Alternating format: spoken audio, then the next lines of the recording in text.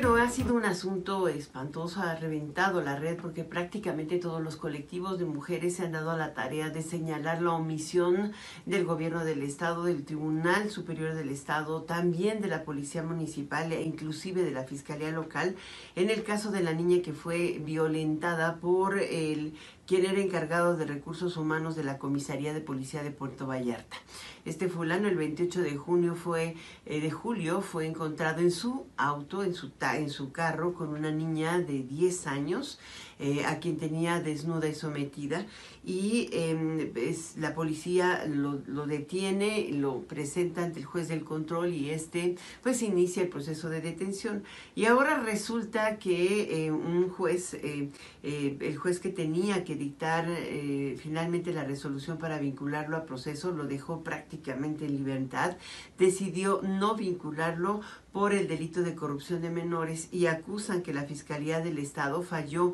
en la integración de la carpeta de investigación y de esta manera un sujeto, un pedófilo, vilmente que es acusado y que, que se le encontró infraganti en un caso de violación sexual infantil, eh, que puede inclusive eh, tener relación con trata de niños, eh, de niña, en este caso puede ser dejado en libertad y además ser absuelto y sin antecedentes esto es lo que tiene a todo el mundo enojadísimo. Em, el fiscal general del Estado, Gerardo Octavio Solís eh, Gómez, dijo que tenían una carpeta de investigación sólida. Eh, sin embargo, el juez de control y oralidad eh, decidió no admitir la imputación por el delito de abuso sexual infantil en grado de tentativa,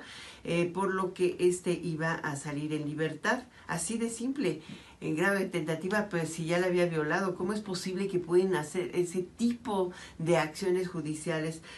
ayer la Unidad de Inteligencia Financiera decidió o actuó para congelar en las cuentas al juez y bueno, el escándalo es tal que ya se están revisando sus conductas de mucho tiempo atrás. Em, no puede ser que el Estado esté presentando un 65 casos de niños en condiciones similares de violencia sexual y hoy por hoy pues es una gran omisión de las tres instancias, de las policías por un de las fiscalías por otro y del Poder Judicial. ¿Usted qué opina?